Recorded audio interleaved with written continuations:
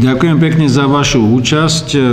Zrejme ste nečítali Aktuality SK, kde ma označili za hlavného konšpirátora, človeka, ktorý sa má držať len ekonomie. Najlepšie bolo, keby držal hubu a k ničomu sa nevyjadroval a podobne. Človek si položí otázku, kto sú Aktuality SK, aby posudzovali odbornú úroveň iných ľudí, ale to necháme bokom a necháme ich vlastnej zlobe a závosti, v ktorej sa topia oni sami. Poďme k meritu veci.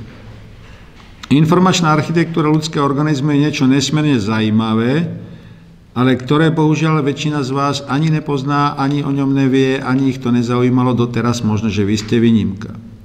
Než sa dostaneme k informačnej architektúre človeka, ale dovolte uviesť dve veci. Prvá. Informácie je základ všetkého, to znamená procesy, ktoré sú v prírode okolo vás, procesy, ktoré sú vo vašom organizme, v spoločnosti a podobne, všetky majú bezpečnostné protokoly. Bezpečnostný protokol vymedzuje hranice, v ktorom zostáva zachovaná funkčnosť systému. Predstavte si to ako koridor, ako rieku, riečný tok, ktorého brehy tvoria bezpečnostné protokoly. Všeobecná predstava je taká, že tie bezpečnostné protokoly sú veľmi široké, že ten vývoj je pomerne, nazvime to, pomalý a plynulý. Musím upraviť túto tézu, pretože ukazuje sa, že väčšina bezpečnostných protokolov od prírody až po ľudský organizmus je úzka a jedna informácia pre vás. O vývoji podmienok na planéte rozhoduje horných 30 cm pôdy a horných 5 metrov hladiny oceánu. Tieto dva fenomény vytvárajú 90% štruktúry procesov, ktoré prebiehajú na povrchu planety z hľadiska prírodného prostredia. Ak je to horných 30 cm, a vy samozrejme viete, že hrúbka pôdy je nesmierne veľká, vzniká otázka, prečo je kľúčových tých 30 cm. Za normálnych podmienok ďakujem pánu Zavřelovi, že mi donesol ďalšiu knihu do nesmierne dôležitej mozaiky, ktorá sa zaoberá štruktúrou pôdy. A štruktúra pôdy je veľmi zaujímavá z dvoch hladín. Nielen z hľadiska štruktúry minerálnych prvkov, ktoré pôda obsahuje, ale z hľadiska mikrobioty pôdy. Mikrobiota znamená sústavu mikroskopických organizmov, ktoré umožňujú chemické a biochemické procesy v pôde, vytvárajú štruktúru látok a enzymov, ktoré sa transformujú do potravy. Jeden z paradoxov. Mikrobiota pôdy a mikrobiota vášho tráviaceho traktu sú dosť podobné. Znamená to teda, že transmisným prvkom medzi pôdou a prostredím a vašim organizmom je štruktúra minerálov vo vašej strave. Práve preto platí to odporúčanie, aby ste konzumovali len stravu do vzdialenosti 300 km okolo miesta, kde žijete, nie viac. Štruktúra mikrobioty v iných vzdialenejších územiach je odlišná. Dôsledkom je ale to, že pokiaľ potraviny obsahujú túto štruktúru minerálov a látok, vy ich príjmete, váš organizmus ich spracováva. Je tam ale jeden problém. Za normálnych podmienok mikrobiota obsahuje určitú štruktúru prvkov a látok, ktoré sú prírodzené pre váš organizmus. Ale my sme leniví. Na čo by sme robili hlbokú orbu, na čo by sme vracali hnoj do pôdy, na čo by sme robili ďalšie veci. Urobíme to jednoduchšie. Budeme chemizáciu používať pre dosahovanie úrody. Konec koncov chemizácia umožní väčší produkt, umožní väčšie objeme výsledných potravín a tak ďalej. Len pozor, v chemizácii dochádza ku zmene mikrobioty a zmene štruktúry vašich potravín. Zinok, ktorý je kľúčový pre váš organizmus, je nahradený hliníkom. Hliník je toxický. Hliník mení vaše najskôr RNA, ktoré je citlivejšie, a potom mení vaše DNA. Ale organizmus neidentifikuje, že došlo ku náhrade jedného druhu minerálu iným druhom minerálu. Pre vás je to skvelé. Väčšia ruda znamená väčšie zisky, jednoduchšie obrábanie, menej potrebných ľudí, i menšia citlivosť na všetko ostatné. Je to super. Máte väčší zisk. Čo to ale znamená reťazením dôsledkov pre váš biochemický proces, tým sa už nikto nezaoberá. Nikto nezvažuje, čo to spraví s vašou štruktúrou biochemických procesov. A z tohoto hľadiska práve tých horných 30 cm pôdy je tými najcitlivejšími. Keď robíte hlbokú orbu, preoriete tých 30 cm. Keď nepoužívate chémie, je kľúčová mikrobiota. Ale prosím vás, to je prvý pohľad, prvý bezpečnostný protokol. Ale sú tu dva nesmierne zaujímavé ďalšie bezpečnostné protokoly. Ak máte prirodzenú štruktúru mikrobioty v pôde, tá mikrobiota rozhoduje o schopnosti pôdy viazať vodu. Za normálnych podmienok na Českú republiku spadne 60 miliard kubíkov. Dnes pôda v Čechách viaže 5 miliard kubíkov. Keby ste vrátili mikrobioty do stavu pred 100 rokmi, česká pôda bude viazať 20 miliard kubíkov. Žiadne poldere, žiadne zádrže, všetko ostatné. Pôda viaže vodu. Ďalší bezpečnostný protokol. Ak voda viaže pôdu, a pôda teda drží vodu v takej podobe, akej sme sa bavili, výsledkom je to, že erózia ani vzdušná, ani vodná neodnáša spráš. V tom prípade to znamená, že vám nehrozí zníženie kvality pôdy. Bohužiaľ, na väčšine planety, a osobitne v Európskej únii, dochádza k tomu, že pôda vysychá, na základe toho vietor a zrážky extrémne odnášajú svrchnú časť pôdy, odnášajú spráš a celkové straty z praše na planéte sú 9 miliard tón ročne. Samotná Európska únia ročne stratí okolo 3,5 až 4 miliardy tón z praše.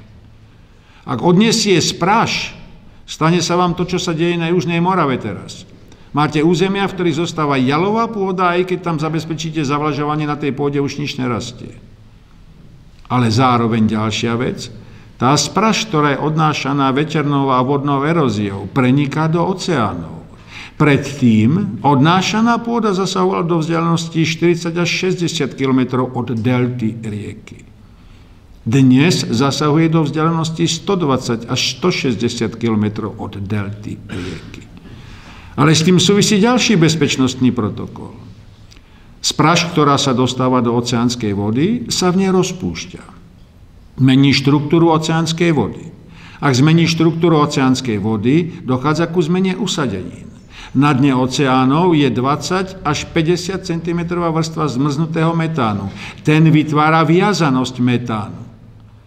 Ale keďže sa zmení salinita vody, teplota vody, zmení sa štruktúra sedimentov, metán sa zmení z tuhého na plynný a unikne do atmosféry. Pripomínam vám, že metán je 20 krát horší ako CO2. Metán sa ale vďaka slnečnému svetlu a ďalším podmienkam mení na kysličník dusnatý. Ten je 300 krát horší ako je CO2. A tieto dva plyny začínajú meniť celkovú štruktúru atmosféry na planéte. Takže je 30 cm len malá vrstva, alebo kľúčová vrstva, alebo niečo, čo je súčasťou bezpečnostných protokolov toku minerálov na planete a v prírodnom prostredí. A pripomínam vám, 1 cm tejto svrchnej vrstvy jeho vytvorenie trvá 8 až 10 tisíc rokov. Znamená to teda, že máte aj časový limit, pokiaľ chcete obnovať. Samozrejme, môžeme napomôcť obnove pôdy, napomôcť obnove mikrobioty. Nedivíte sa, prečo Česká zemidelská akadémia dneska vytvára obrovský projekt, v ktorom chcú vrátiť do českej pôdy mikrobiotu v stavu pred 100 rokmi. Pochopili, že pre riešenie sucha je toto kľúčová otázka. Ale máte aj ďalšiu zvláštnosť. Metán uniká do atmosféry. Je prirodzený, e, vytvára určité prvky v atmosfére. Zvláštnosťou ale je to, že keby ste nemali metán v atmosfére, každých 12 tisíc rokov sa percento kyslíku v atmosfére zvýši o 1%. Ak presiahnete kritickú hladinu, atmosféra je tak horlavá, že všetko, čo je v nej, zhorí. Keby náhodou toho kyslíku bolo málo, neprebieha fotosyntéza v rastlinách. Čiže opäť vzniká veľmi úzka štruktúra podielu metánu a kyslíku v atmosfére, ktorá jediná umožňuje život, vaše dýchanie, fotosyntézu rastlín a celý životný kolobeh. Je to úzké percento a jeho rozpetie. Je náhoda, že to percento, ten bezpečnostný protokol a ten bezpečnostný koridor je tak úzky, a nemá vysokú votalitu ani široké rozpetie. Ale máte ďalšie zvláštnosti bezpečnostných protokolov v prírode. Metan unikol do atmosféry. Super. Skleníkový efekt, fantázia. Ale príroda má bezpečnostný protokol, ktorý sa nazýva produkcia dimetylsulfátu. Je to zvláštny druh enzymov, ktorý produkuje plankton v oceáne. Ak sa zvýši teplota na planete, plankton zvýši svoj výkon, produkuje viac dimetylsulfátu. Ten uniká do atmosféry, spôsobuje väčšie množstvo mrakov, väčšie množstvo mrakov znižuje priechodnosť slnečnej energie a zabezpečuje pokles, ochladenie atmosféry. Máte ďalšiu zvláštnosť, ďalší bezpečnostný protokol. Všetci čítate o tom, že Amazónia vytvára plúca planety. Rovno zabudnite, 52 až 55% kyslíku vytvára oceán. Najnovší objav? Veľryby prispievajú k produkovaniu kyslíku. Čím viac veľryb, tým viac kyslíku. Ale my sa predsa na veľryby dívame ako na zdroj zisku. Čím ich viac vylovíme, tým lepšie. Zvláštnosť. Skutočným producentom kyslíka sú ihličnaté lesy severnej polugule. Ihličnaté lesiale sú charakteristické vysokým podielom silíc, tej živice. Silica produkuje prirodzené aerosoly. Prirodzené aerosoly unikajú do atmosféry. Vytvárajú kondenzačné jadrá. Zvyšujú oblačnosť v atmosfére. Znižujú priechodnosť pre slnečné žiarenie. A znova fungujú ako vyrovnávací mechanizmus. Máte ďalší bezpečnostný protokol – na dne oceánu fungujú tzv. hĺbkové oceánske prúdy. Posledný objav objav posledných 5 rokov. Tie prúdy tečú z Grónska po morskom dne. Tečú k Severnej Amerike, tečú aj k Európe. Ich pohybová rýchlosť je veľmi malá. Vzdialenosť medzi Grónskom a Severnou Amerikou konajú za 80 až 90 rokov. Ale zvláštnosť. Tie oceánske prúdy na dne oceánu sú zo sladkej vody a teplej vody. Spomente si na fyzikálne poučky zo školy. Teplá voda musí byť hore, studená voda musí byť dole. E, tuto to neplatí. Tie prúdy odnášajú teplú, sladkú vodu, ale znamenajú jeden paradox pre globálne oteplovanie. Keďže tečú pomaly a 80 rokov, keď vystúpia na povrch u pobrežia, radikálne zmenia teplotnú bilanciu oceánskej vody.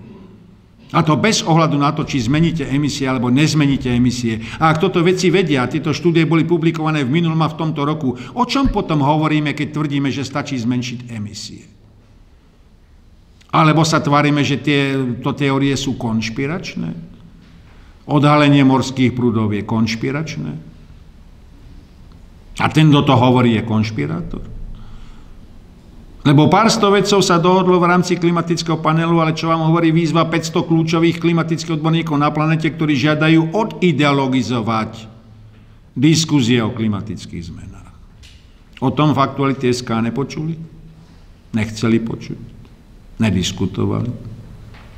A vy sa dostávate k zaujímavému objavu. V prírode je približne 100 bezpečnostných protokolov. Tie protokoly majú dva účely vymedzujú koridor a v rámci koridoru zabezpečujú stabilitu podmienok. Aby život fungoval, potrebuje stabilné podmienky. To zabezpečujú bezpečnostné koridory a obsah, ktorý vymedzujú. Na druhej strane, pokiaľ porušíte bezpečnostné protokoly, porušíte dynamickú rovnováhu. V takom prípade nenastáva pomalý proces zmeny. Nastáva zlomová zmena. Preto je to, čo desí väčšinu klimatologov, pokiaľ to priznajú v skutočnosti, že väčšina prechodov z glaciálu do interglaciálu a opačne prebiehala v rádoch desiatok mesiacov, nie stoviek a tisícov rokov. Samozrejme zmena morských prúdov, ktorá je nesmierne dôležitá z hľadiska distribúcie tepla po planete, pretože toto predstavuje dve termodynamické čerpadlá, jedno v Atlantickom, jedno v Tichom oceáne, znamená nielen presun obrovskej masy vody, ale pro všetkým presun obrovskej masy energie. No a vy sa dostávate k zaujímavému poznatku. Opäť publikovaná štúdia, ktorú niektorí odborníci nezohľadňujú. Kľúčovou podmienkou pre život na planéte je dynamická rovnováha troch skupenstiev vody. Lad, tekutá voda, vodná para. Dynamická rovnováha týchto troch skupenstiev zabezpečuje nielen dostatok vodnej masy pre život, ale znamená aj prirodzenú distribúciu energie na povrchu planéty. nenáhodou pátrajú pri objavoch exoplanét práve po formách vody a po distribúcii energie, ktorú tieto tri skupenstva vody udržujú. Rád vám pripomínam, že 97% zásob sladkej vody je v podobe ľadu. Iba 3% sú v podobe tekutej vody. Bohužiaľ, väčšinou sú mimo teritorií, kde žije človek, takže je to ďalšia taká zaujímavá zvláštnosť bezpečnostného protokolu prírody. No a ďalšia skutočnosť, ktorá súvisí s prírodným prostredím, sú to dlhé obdobia stability, prekračované potom rýchlym kvalitatívnym zlomom. A ak toto vysledujete, tak pre vás musí byť kľúčová otázka, ak sa dívate na človeka a jeho vývoj, aké príčiny viedli ku zmenám jednotlivých geologických období. Čo viedlo k prechodu z prvohôr do druhohôr, z druhohôr do tretihôr, z tretihôr do štvrtohôr. Napríklad prechod od druhohôr k tretihorám, ktoré boli chladnejším obdobím, bol poznačený jednak zmenou hladiny vody v oceáne, zmenou rozsahu súší, zmenou konfigurácie kontinentov, zmenou salinity vody v oceánskych vrstvách, pádom meteoritov a v tretich horách obrovskou aktiváciou sopečnej činnosti v severnej časti euroazijského kontinentu známe sibírske sopečné výbuchy, najväčšie v histórii planéty. Vytvorili mocnosť vrstiev o hrúbke 3 kilometre. To viedlo k tomu, že sa rozvinuli stavovce menšieho typu o veľkosti potkana až po veľkosť psa a znamenali prechodovú fázu od druhého k horám. Prechodová fáza od hor k horám. Objavujú sa doby ľadové, dochádza ku zmene obežnej dráhy planéty, dochádza ku zmene štruktúry e, vzduch, ovzduší na planéte, dochádza ku zmene tempo driftovania kontinentov a výsledkom sú štvrtohory. Štvrtohory znamenajú 5 ľadových dôb. Ale zase to není jednoduchá odpoveď. Vnútri ľadových dôb máte bezpečnostné protokoly, čiže za posledných 18 miliónov rokov máte 5 ľadových dôb, 52 teplých, 52 studených období, dochádza k pravidelnému cyklovaniu, ale vo vnútri týchto období sú znova klimatické vrcholy, klimatické poklesy a nárast teploty alebo pokles teploty. V čom je nebezpečný extrémny pokles teploty? V tom, že nízka teplota vymrazí vodu do hĺbky niekoľkých metrov. Zmení alebo zmrazí mikrobiotu tých 30 cm a zmení schopnosť pôdy obnovovať systémy. Takže jeden z paradoxov, pred ktorými stojíme dnes, videli ste obrovské lesné požiare v Kalifornii, videli ste ich v Európe, videli ste ich inde. Prosím, tie lesné požiare boli vždy, ale mali jednu zvláštnosť vždy sa obnovilo 80 až 90% lesa. Dnes sa obnovuje iba 30 až 40% lesa. Prečo? Pretože sa zmenila štruktúra mikrobioty v pôde vďaka obrovskému objemu a kolobehu chemických prvkov. Čiže problémom nie sú emisie CO2, ale zmena chemickej bilancie planéty. Z toho vyplýva ďalší závažný problém. Ako nále tieto chemikálie zmenili celkové cirkulovanie minerálov na planéte, dostávame sa do situácie, v ktorej poznatky prechodu z jednotlivých geologických období sú nesmierne závažné. Hovoria totiž o tom, čomu hovoríme reťazenie dôsledkov a súvislostí. Žiadny z tých procesov neprebieha sám o sebe. Vytvárajú kaskádovité efekty, kde tie procesy sa buď umocňujú, buď eliminujú, ako ste počuli, alebo vedú k tomu, že sa rozložia v odlišných časových úsekoch.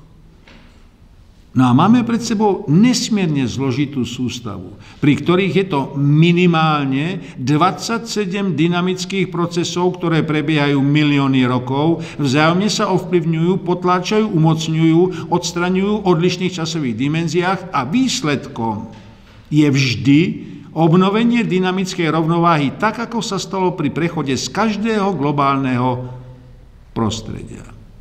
Problém je, že súčasťou dynamickej zmeny prírodných podmienok sú globálne vymierania. Tie vždy viedli ku zmene flóry a fauny nájdeniu novej dynamickej rovnováhy druhov flóry a fauny, vzťahu medzi flórou a faunou, teritoriálnym rozložením, väzbou na štruktúru a obej minerálnych látok. Nezapomnite, že tu sa dostávame k ďalšiemu protokolu, ktorý sa už týka človeka. Diverzita. Rôznorodosť. Diverzita znamená, že to není len evolučný výber najvýhodnejšieho kandidáta. Diverzita znamená vytvorenie žiadúcej úrovne rôznorodosti druhov, ktoré zabezpečujú pevnosť systému. Nízky počet druhov zabezpečuje slabosť systému. Ak sa výrazne obmedzí druhová štruktúra flóry alebo fauny, dochádza k porušeniu rovnováhy flóry alebo fauny a následne porušeniu rovnováhy medzi flórou a faunou. Výsledkom je potom porušenie celkového vzťahu života na planéte, Planéta zároveň reaguje tým, že vytvorí nové podmienky pre nové druhy flóry a fauny. Niektoré druhy zachová, vytvorí nové, vytvorí novú rovnováhu vo vnútri flóry a novú rovnováhu vo vnútri fauny. Tak sa napríklad prasličkové lesy druhohôr zmenili na predchodcov dnešných lesov v tretich horách. Prechod z tretich hor do dneška viedol k vytvoreniu listnatých a iličnatých lesov a ich teritoriálneho rozloženia na planete. Nesmene dôležité je totiž si uvedomiť, že keby klimatológovia boli skutočnými vedcami, tak vysvetlia to, čomu sa hovorí Hansenov efekt. Hansenov efekt znamená, že pri súčasnom globálnom náraste teploty budú existovať oblasti, v ktorých dochádza k výraznému ochladeniu. Ako je to možné, pokiaľ je kľúčovým parametrom iba hranica CO2 v atmosfére? Alebo je kľúčovým problémom teritoriálne rozloženie miery diverzity druhov, podmienok a prostredia v jednotlivých častiach planéty? Takže pre vás je kľúčový nie nárast priemernej teploty o 2,5 stupňa, ale skutočnosť, že severná pologula sa oteplí o 12 stupňov, rovník o 1 stupeň a južná pologula o 3,5 až 4 stupne. Ale jak je to potom s ďalšími faktormi, ktoré produkujú kyslík na planéte? Ak sa zmení a nahradí oceánsky plankton a oceánske vody, ktoré produkujú kyslík, čo bude produkovať kyslík, aby ste udržali kyslíkovú úroveň v žiaducej úrovni umožňujúcej fotosyntézu a váš život, vaše dýchanie. Odpovede na to sa len hľadajú a odkiaľ sa potom berie tá odvaha tvrdiť, že všetko vyriešite reverzným chodom, kde odstraníte emisie CO2, to povedie k poklesu skleníkového efektu, to povedie k poklesu teploty a budete žiť ďalej tak, ako ste žili doteraz. A ak toto všetko viete, a tam prosím, tí, ktorí kritizujú môj postoj, nech si urobia jedno jediné. Zoberú si za posledných 10 rokov publikované štúdie o rôznych aspektoch globálneho oteplovania, dokonca publikované v slovenskom jazyku a v SME, v tej vedeckej prílohe. Položte si ich vedľa seba a uvedomte si, čo z tých jednotlivých štúdií vyplýva pre globálny obraz klimatických zmien. Ešte stále ma budete považovať za konšpirátora? Niekoho, kto hlása nepodložené tézy, alebo nepodložené tézy sú tých, ktorí tvrdia toto? No a teraz prejdime k človeku, k ľudskému organizmu.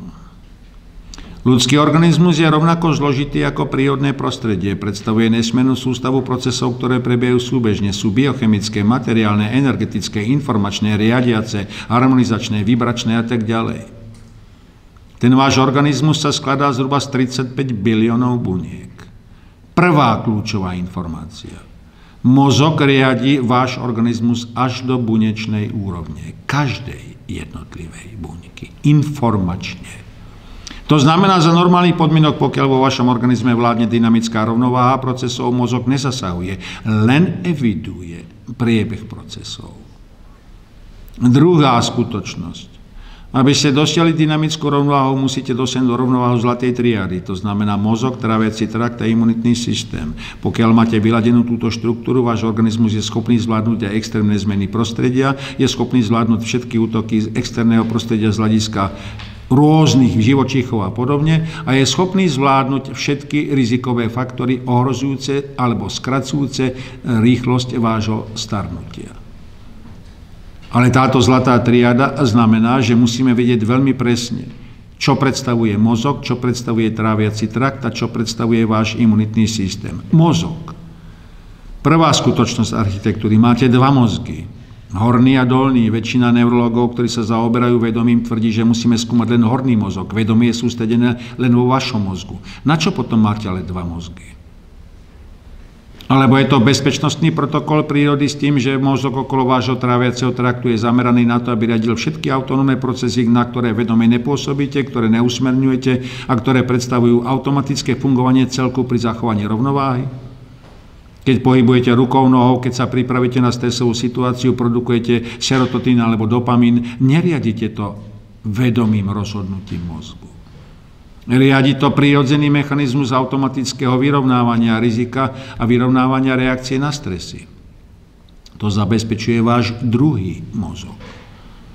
Váš horný mozog ten je predsa zameraný na dve zásadné funkcie. Určenie vašej polohy v priestore, preto používa kombinácie senzorických systémov informácií a po druhé je zameraný na poznanie sveta okolo vás. Ak poznanie sveta okolo vás, to znamená kľúčom je neustále kontinuálne prehlbovanie poznania sveta okolo vás. Preto máte bezpečnostný protokol v spoločnosti, ktorý hovorí, že potrebujete rôzne generácie. Pretože za 20 rokov života vaše skúsenosti s adaptáciou a poznaním o prostredia nestačia. Potrebujete 60, 80, 100, 120 rokov na to, aby sa vo vás nazhromaždili skúsenosti, ktoré pretavia všeobecné javy do poznania súvislosti a vzťahov. Nie náhodou vám príroda vytvorila systém medzigeneračného prenosu informácií a poznatkov a zároveň zabezpečila, že máte súbežný život rôznych generácií. Není to náhoda, je to súčasť bezpečnostného protokolu garantujúceho prechod informácií medzi jednotlivými vrstvami. Druhý problém, ktorý s tým súvisí. Ak ľudský organizmus má sústavu bezpečnostných protokolov umožňujúci dynamickú rovnováhu a sú sústredené v mozgu, v tráviacom trakte a v imunitnom systéme, ako sú riadené. Sú riadené práve informačnými tokmi, ktoré prebiehajú vo vašich neurálnych systémoch. Krásna diskuzia bola dneska na Lekárskom kongrese, ako môžeme riadiť tak zložité systémy. No je to jednoduché, sledujeme elektrické potenciály. Dám vám na hlavu prilbu EKG, sledujem tok vašich elektrických impulzov, vidím qubity, teraz to znamená použitie kvantového systému pre hodnotenie vzťahov, Binárny systém má iba dve dimenzie, jedničku a nulu. Kubitový systém má n-dimenzionálny systém, v ktorom všetky prvky sú vzájomne prepojené a zmena jedného prvku znamená zmenu celej sústavy prvkov. Z toho vyplýva ale ďalšia skutočnosť. Ak tieto informácie prechádzajú cez váš informačný systém, je to len elektrický potenciál, ktorý meriate a na ktorý sa sústredujú neurologovia, alebo platia objavy z Montrealu a Bostonu, ktoré hovoria o tom, že celý tok informácií vo váš má 7 dimenzií, neurostimulačné, biochemické, nemateriálne, vibračné, harmonizačné a najväčší šok, nemateriálny presun informácie. Je dokázané, že dochádza k presunu informácií bez toho, aby ste boli schopní analyzovať stopu toku informácií. Jak bola prenesená? keď nebola prenesená vašou neuronálnou sieťou. A je skutočne mozog len obyčajný počítač, ktorý je trošku zložitejší ako váš počítač alebo tablet, ktorý máte na stole, alebo je to niečo, čo znamená, že súhrn jednotlivých častí vytvára úplne inú kvalitu informačnej architektúry a schopnosť práce s poznávaním tokov informácií? Ale v takom prípade potom musíte si uvedomiť jedno. Váš organizmus je nesmierne zložitá sústava procesov a aby bola v rovnováhe, musíte zabezpečiť neustále spracovanie informácií v reálnom čase v endimenzionálnej podobe. Není to teda len to, že váš zrakový nerv sústreduje informácie, posúva ich do amygdaly alebo do zrakového centra, ale je to neustále kombinovanie všetkých informácií, ktoré dostávate cez vaše senzory s tým, že kľúčovým parametrom je neuroplastická mapa, umožňujúca vytvárať endimenzionálny obraz reality, v ktorej ste. A jak je možné, že toto funguje? jak je možné, že tento systém bol vytvorený, nazvime to metodou pokusu o milu. Lebo to tvrdíme u klasického evolučného princípu. Alebo nadradeným princípom je informácia, jej pochopenie, je zaradenie významu a spojenie so súvislostiami. A v takom prípade máte pred sebou sústavu bezpečnostných protokolov odrážajúcich informačné toky vo vašom tele. Poďme sa prejsť po tejto nesmierne zaujímavej záhrade bezpečnostných protokolov. Prvý bezpečnostný protokol rovnováha senzorických systémov. Áno, máte nie 5 zmyslov, máte 21 zmyslov. Najväčší zmyslový orgán je vaša koža. Najcitlivejší orgán, kde máte najvyššiu koncentráciu senzorov, je váš jazyk. Preto keď sa kúsnete do jazyka, tak je to patrične efektívny pocit a efekt. Ale nezabudnite, že tie senzorické systémy sú založené na kombinatorike. Vytvárajú multidimenzionálny obraz sveta vo vnútri organizmu a okolo vášho organizmu. Vo vnútri organizmu. Druhý bezpečnostný protokol. Tráviaci trakt. Mikrobiota vo vašom tráviacom trakte. 21 biliónov mikroorganizmov, približne 1800 druhov. Kľúčové sú ale dva druhy. Ostatné vytvárajú produkciu enzymatických látok. Tieto látky sa nazývajú cytokíny a metabolity. Vytvárajú 450 tisíc možných kombinácií. Váš astroneuron, ktorými sú obopnuté vaše čreva a tráviaci trakt, je schopný identifikovať každú z tých 450 tisíc možných kombinácií. Šialené, že?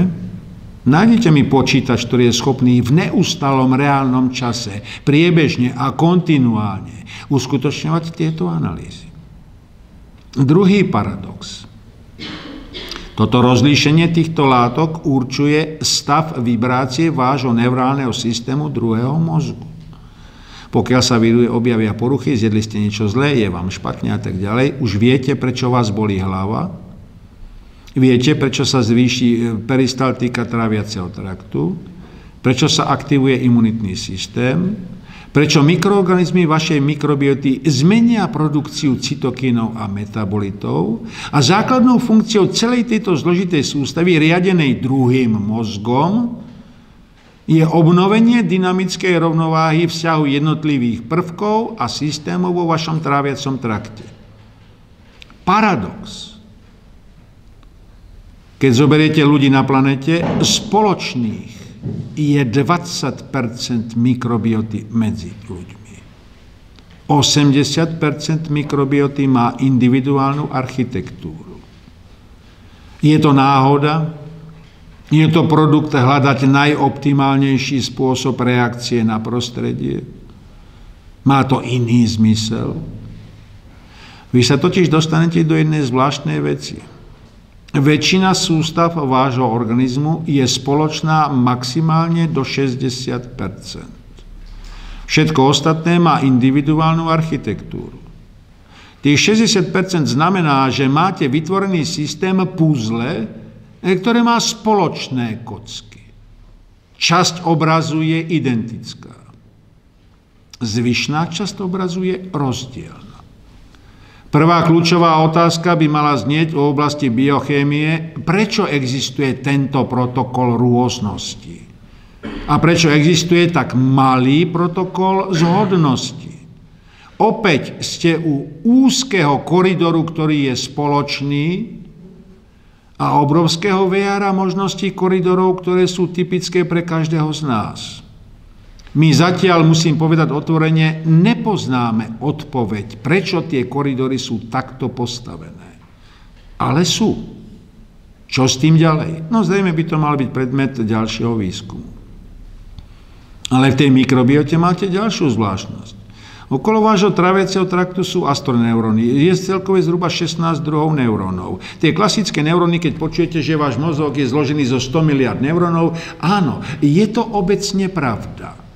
Ale z tých 100 miliard neurónov 15 miliard sú klasické neuróny, ktoré umožňujú spracovanie informácií. 85 miliard sú glie. Glie znamenajú, že sa starajú o neuróny vášho mozgu. Prečo je tam tento pomer? Teoreticky vzaté by stačilo, keby povedzme pripadalo 10 glí na 1 neurón. Z hľadiska biochemických procesov by to malo postačovať. Prečo je ale táto asymetria 85 a 15? Nevieme. Ďalšia zvláštnosť. Kým neuróny nestarnú, glie starnú. Má to logiku? Predsa to, o čo sa stará, by malo starnúť rovnakým tempom ako to, čo sa stará aby ste udržali dynamickú rovnováhu celého vášho organizmu. Ale vo vašom organizme niektoré orgány starnú rýchle, niektoré nestarnú vôbec, niektoré majú predlžené starnutie. Jak je to možné? Predsa logika velí, že u zložitého systému, ktorý má nesmierne množstvo vitálnych štruktúr, všetko musí starnúť rovnako, pretože vypadnutie jedného reťazca orozuje funkčnosť systému. A prečo to v nás neplatí? Prečo váš mozog nestarne, starnú glie. Prečo nestarne vaše srdce, starne ostrosrdcovník. Prečo nestarne váš žalúdok, ale starnú buňky, ktoré sa starajú o žalúdok. Prečo niektoré informačné spoje máte sedemnásobné, niektoré trojnásobné a niektoré nemajú ani zdvojenie. Všetky sú vitálne. Jak je to možné? V čom spočíva bezpečnostný protokol toho, že niektoré toky informácií máte skutočne sedemnásobne istené. Niektoré nie. A dostávame sa k ďalším otázkam, ktoré sa týkajú informačnej architektúry človeka. Jak je možné, že organizmus je schopný prejsť na tzv. kyslíkový hibernačný režim? Viete, že základom vášho fungovania je kyslík, ktorý sa dostáva červenými krvinkami ku každej buňke, zabezpečuje funkčnosť týchto buniek, všetko to beží v súhre. Čo sa stane, keď prechádzate na nedostatok kyslíku? Zmení sa štruktúra atmosféry, ktorú dýchate. Prechádzate na tzv. kyslíkový hibernačný režim. Organizmus stiahuje kyslík z nedôležitých častí vášho tela. Je ruka dôležitá? Asi nie. Je dôležitá pečeň v tej fáze? Nie. Čo je kľúčový parameter, ktorý musí zostať funkčný i v extrémnych situáciách? Bez čoho nemôžem obnoviť váš funkčný systém. Je to jediný systém vo vašom organizme. Je to váš neurálny systém. Preto v prípade nedostatku kyslíka sa stiahuje všetok kyslík z organizmu a zabezpečí tzv. hibernačný režim vášho neurálneho systému. A to je ten ďalší poznatok. Váš neurálny systém funguje 8 až 10 hodín po vašej smrti, kedy sa zastaví srdce a podstúpite klinickú alebo biologickú smrť. 8 až 10 hodín je neurálny systém funkčný. Takže keď vás rozoberám na národné diely, váš organizmus to cíti. Není to bezpečnostný protokol prírody, aby sme nešli touto cestou z hľadiska národných orgánov, ale zvolili cestu povedzme kmeňových buniek reprodukčných iných systémov. Ale ako náhle tento neurálny systém je funkčný 8 až 10 hodín po vašej smrti a dneska dokonca máte krásne štúdie, že keby sa dnes potopil Titanic, tak vďaka tomu, že ľudia boli vo vode, ktorá mala teplotu 3 stupne, by sme 90% ľudí dnes zachránili. Oživili by sme ich. No a to sú tie známe prípady, že niekto sa korčuluje na lade, spadne do ľadovej vody, lebo sa ľad pod ním preborí, je vo vode napríklad pol hodiny alebo hodinu a my ho dokážeme oživiť. Hoci to srdce prešlo na hibernačný režim, mozog prešiel na kyslíkový hibernačný režim a teoreticky vzaté už dávno mal byť ten človek prehlásený za mŕtvého. Není mŕtvý. Ale tento kyslíkový hibernačný režim môže byť aj krátkodobé, môže byť viazený napríklad na svalový výkon. Pokiaľ sa dostávate do extrémnej situácie, ktorá znamená vaše prežitie, mozog sám riadi stiahovanie kyslíka ku vašim svalovým centrám a riadeniu svalov, tak aby ste boli schopní sa z toho toxického prostredia dostať. Je to teda bezpečnostný protokol vášho prežitia, je to vedomelá činnosť, pri ktorej váš prvý mozog, ten horný, usmerní druhý mozog a ten zabezpečí distribúciu kyslíka v iných štruktúrach vo vašom organizme? A je to teda niečo, čo vlastne znamená fantastický autonómny systém, na ktorý vy ani nemyslíte. A on prebieha úplne autonómne, a zabezpečí vaše prežitie. A tento kyslíkový hibernačný režim funguje aj u ďalších živočíchov, nielen u človeka, takže je to vec pravdepodobne širšieho chápania bezpečnostného protokolu u väčšiny živých organizmov, tých zložitejších. U tých jednoduchších to beží iným spôsobom. Asi viete, že život existuje napríklad aj v tzv. čiernych komínoch, čo je produkcia nesmierne zložitých toxických látok na oceánskom dne produkovaných sopečnou činnosťou. Aj v nich žijú baktérie. Ale nikto z nás by tou baktériou asi nechcel byť. Aj keď žijú v hĺbke 3,5 km, nemajú problém so stravou. Vďaka tomu čiernemu komínu. Ale máte ďalšiu sústavu bezpečnostných protokolov. Kritická hladina. Tá kritická hladina je zvláštna. Kritická hladina kyslíka vo vašej krvi, kritická hladina elektrického napätia vo vašich neurálnych spojoch, kritická hladina vyladenia vertikálnej a horizontálnej vibrácie pri prenose informácií vo vašich neurálnych systémoch. Jedna skupina neurologov dneska prichádza s koncepciou tzv. tunelovitých tubusov. Tieto tunelovité tubusy predstavujú mikrobiálne trubičky, ktoré sú konštruované tak, že prepustia jeden jont draslíka a maximálne 10 jontov druhej látky. Jak je možné, že len jeden, a to jeden jont a 10 jontov? Nie viac, nie menej. Nevieme, prečo to tak je. Len to beží ako určité, nazvite to prekapávanie cez vaše neurálne systémy.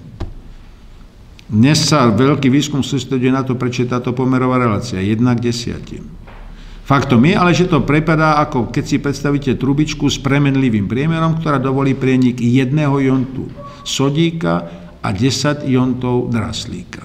Ani o jont viacej, ani o jont menej.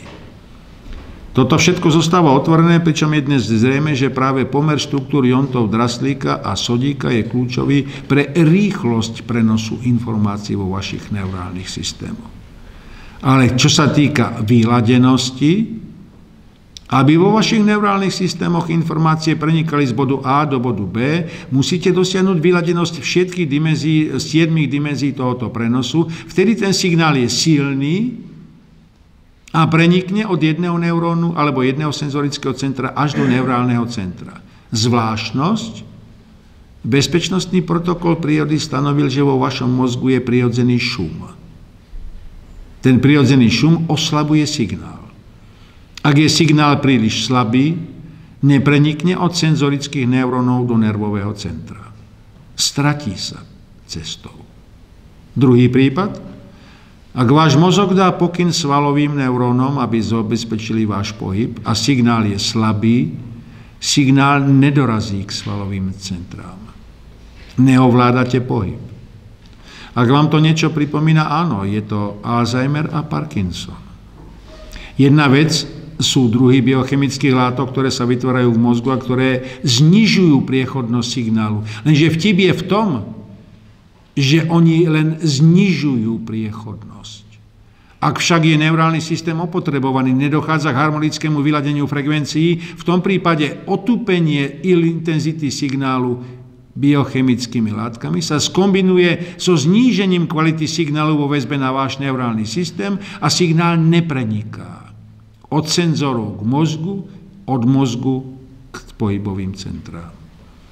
Prečo to tak je? Je to bezpečnostný protokol, aby ste nerobili neuvedomelé a náhodilé pohyby? Je to bezpečnostný protokol preto, aby sa neaktivovalo niečo, čo sa aktivovať nemá, pokiaľ nie je dosiahnutá žiaduca hladina aktivácie? A není to náhodou práve to, že celý tento tok informácií je postavený tak, aby harmonické frekvencie tokov informácií zo senzorov k mozgu boli rovnako kvalitné ako tok od mozgu k výkonným orgánom a na základe toho ste udržiavali neustále harmoniu vnútri organizmu ako celku, nedochádza k informačnej asymetrii, informačnému šumu a šum vo vašom mozgu není bariérou. Musíme povedať otvorene, že dodnes neprišli neurologovia na to, prečo je ten prírodzený šum. Prečo je funkcia toho prirodzeného šumu vo našich neurálnych systémoch? No a samozrejme dnes sa vedú diskusie na to téma, ďalšieho bezpečnostného protokolu, koľko častí mozgu máme spoločné s inými živočíchmi.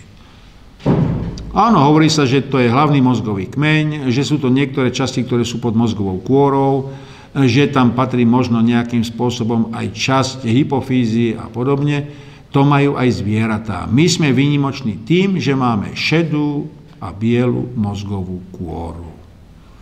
To je predsa centrum nášho myslenia. Tým sme výnimoční, tam je sústredené vedomie. Vedomie je produkt jedine nás a žiadny iný živý tvor na planete vedomie nemá. Ďalší bezpečnostný protokol. Čo je vedomie? Uvedomenie si seba samého, schopnosť vidieť svoje miesto v prostore a čase, schopnosť komunikácie s inými subjektami, schopnosť vytvárať virtuálny obraz sveta okolo seba a schopnosť spracovania informácií zo všetkých senzorických systémov tak, že vytvorím nielen abstraktný obraz sveta okolo seba, ale vytvorím aj možnosť budúcich reakcií na tento svet okolo seba. Viete, že v skutočnosti váš mozog predvída budúcnosť v intervale 2 až 10 sekúnd? On stanovuje pravdepodobnú podobu toho sveta, v ktorom vy fungujete a dopredu vás pripraví na podobu toho sveta o 2 až 10 sekúnd. Dá pokyny svalom, dá pokyny vnútorným orgánom, dá pokyny na zmenu informačných tokov, dá pokyny na zostrenie pozornosti patričného senzorického systému a nájde odpoveď na tých budúcich 10 sekúnd. Dokonca zistujú sa teraz niektorými experimentami, že tá prodleva reality a budúcnosti môže byť až 20 sekúnd. Jak môže mozog predvídať, že sa stane to alebo ono na 20 sekúnd dopredu? Je to zvláštna vec. A my vlastne sa s tým ani nezaoberáme. Vy úplne jednoducho predchádzate skutočnosti, že idete autom, vidíte v diálke podvedome červené svetlo. Čo urobí váš mozog? Vyhodnotí to. Pravdepodobne tam dopravná zápka, autá spomalili, dám nohu splynúť, dám nohu na brzdový pedál, sledujem rýchlosť, sledujem približovanie sa subjektov, zvažujem dĺžku brzdnej dráhy, zvažujem všetko to, koľko potrvá, než zastavím, keby došlo ku katastrofe. Váš mozog vytvoril obraz budúcnosti, ktorá je samozrejme alternatívna, ale vytvorili ju. A na základe toho pripravil váš organizmus na to, čo sa stane. Samozrejme sú aj ďalšie javy, pri ktorých ten mozog predvída ďalej, na dlhšie obdobie. Ale to sú skôr výnimočné javy a týkajú sa skôr oblasti paranormálnych výskumov a podobne. No a s tým súvisí bezpečnostný protokol, ak mozog je schopný predvídať budúcnosť, prečo nepredvída poruchy vo vašom tele. Ak platí téza, že mozog riadi každú buňku vášho tela, má plný informačný foršu z každej buňky vášho tela, teoreticky vzaté by mal okamžitom predstihu vedieť, že dochádza k porušeniu rovnováhy a mal by vedieť, čo je príčinou porušenia rovnováhy. To by velila logika. Mistra Spoka. Robí to mozog alebo nerobí? Robí. Len vy nečítate tú informáciu, ktorú vám mozog poslal. Tu ma pichlo.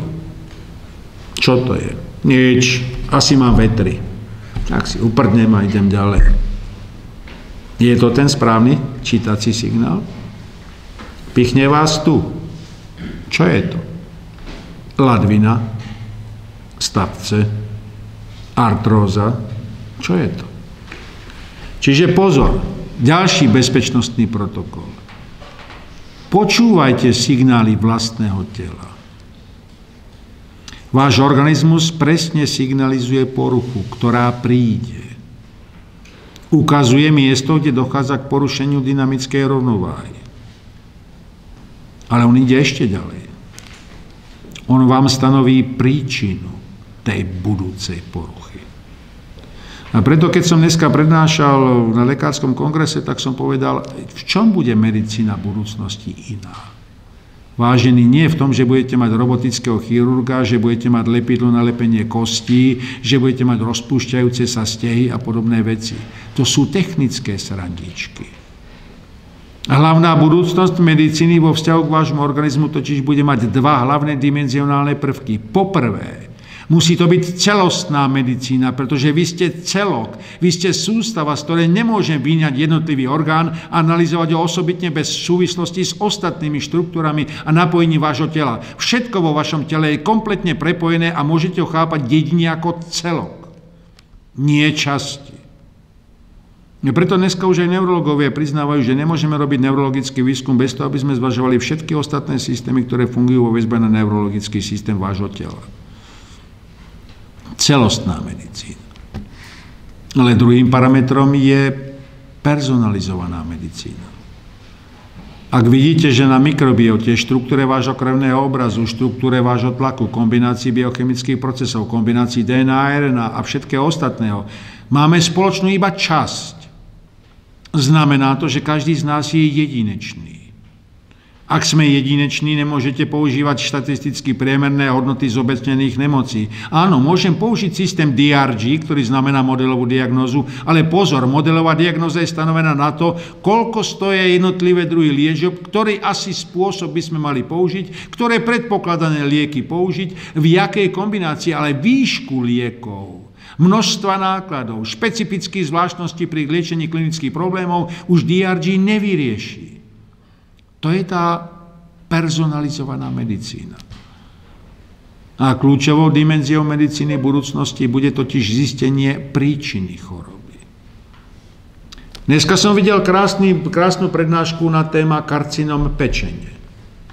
Boli ukázané spôsoby nových diagnostických metód, fantastické zobrazovanie. Boli použité metódy riešenia chirurgickým zásahom. Boli definované šance po chirurgickom zásahu. Vo väzbe na to, či ten nádor je celostný, či je ohraničený, či je rozptýlený, či má metastázy, či nemá metastázy, jakým spôsobom. Fantastické. Záver. Napriek úspešnému odstráneniu časti onkorakovinou napadnutej, nádej na prežitie sa pohybuje do dvoch až troch rokov. Prečo? Pretože bude pokračovať metastázovanie v organizme? Nie. Nevyriešili sme príčinu, prečo došlo k onkologickým procesom. A vyriešenie príčiny je nesmierne zložité, pretože musíte odhaliť, je to príčina biochemická, stresová, vnútorná, vonkajšia, porucha riadenia informačných systémov, porucha bezpečnostných protokolov, ktoré sprevádzajú vaše biochemické procesy. Čo je príčinou tejto choroby? A to, že vám predležím zásahom chirurgickým úspešným, skvelým, nemecké skúsenosti, o dva roky je prvý parameter, ale z tých dvoch rokov, 1,5 roka budete v nemocničnom ošetrení, budete hospitalizovaní, budete na infúziách a budete tvrdiť, že žijete. Áno, biologicky žijete. Až na to, že ste v nemocnici. No a keby som sa vás pýtal, čomu by ste dali prednosť? Dvom rokom života na infúziách alebo pol roku plného aktívneho života. Čo by ste zvolili? Je pre vás kľúčové fyzicky, informačne prežiť tie dva roky alebo žiť plným životom? To není defetizmus, to není ani nejaký iný spôsob deformácie. Je to schopnosť toho, že každý z vás je človekom tvorivým. Ďalší bezpečnostný protokol. Prečo väčšina ľudí má pocit, že musí tvoriť? Nemôžete len konzumovať. Musíte mať pocit, že ste niečo vytvorili, niečo materiálne, nemateriálne, že ste napísali knihu, vytvorili sochu, natrli plot, postavili múr, urobili elektrickú inštaláciu v dome. Tvoriť. Čoho je to odrazom? Je to odrazom toho, že máte zakódované vo vašich neurálnych systémoch povinnosť, potrebu tvoriť ak máte zakodovanú túto potrebu, znamená to, že tá potreba je opäť diverzifikovaná. Niekto má rád e, skladá hudbu, niekto maluje, niekto muruje, niekto omieta, niekto je na záhradke, niekto sa venuje niečomu inému. Predstavte si tú mieru diverzity, ktorá je v spoločnosti. Zdanlivo to vyzerá ako chaos. Skúste nájsť řád v chaosu. Je to skutočne len náhodilé rozloženie toho, že jeden robí to, druhý to, tretí robí to, štvrtý robí to? To znamená, není ste náhodou bezpečnostného protokolu diverzity, kde primárna smernica hovorí o potrebe tvoriť, ale diverzita znamená vytvárať niečo, čo je väčším celkom.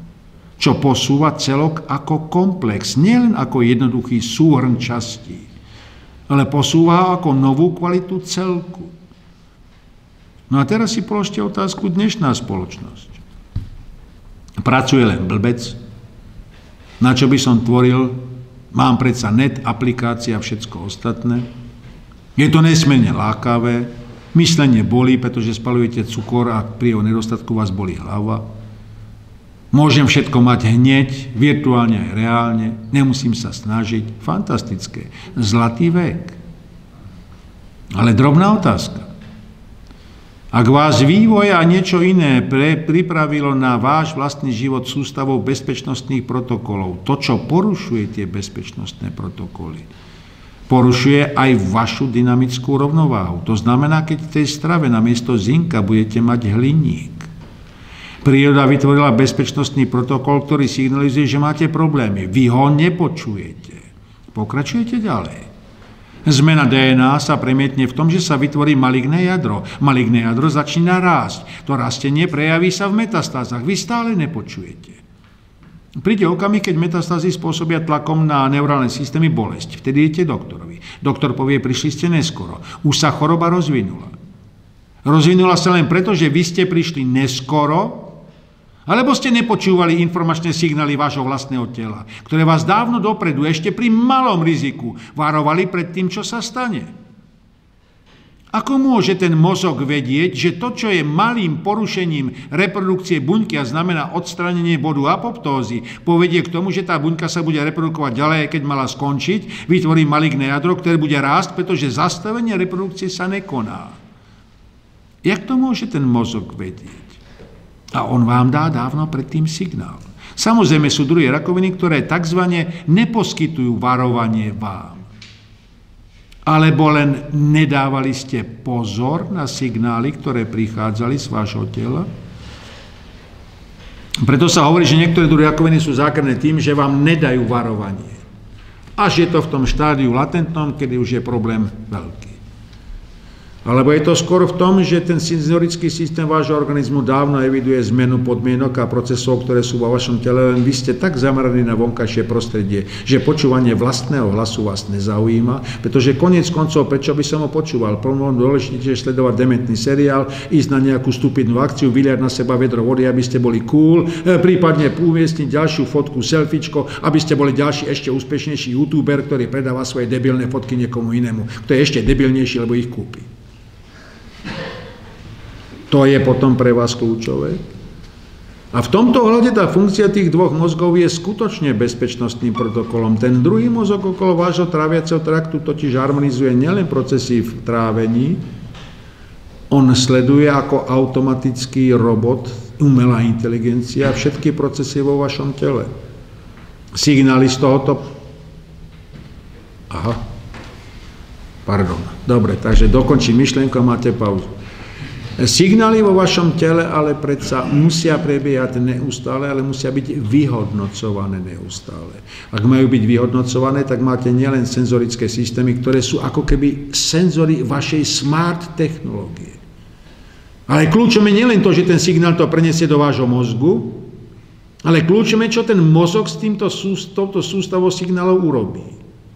Jak ju pretaví, transformuje, vytvorí nový obraz a na základe toho nového obrazu dá spätne tok informácií jednotlivým častiam vášho tela, takže vaše srdce začne pracovať rýchlejšie, serotonín a dopamín sa začnú vylučovať do krvi, nadladvinky začnú produkovať ďalšie toxiny, ktoré umožnia zvýšenie výkonnosti, zvýši sa vám sila, prehlbíte dýchanie, zvýšite spotrebu kyslíka, zvýšite výkonnosť, ste pripravení, vyštartujete a bežíte 100 metrov za 9 sekúnd.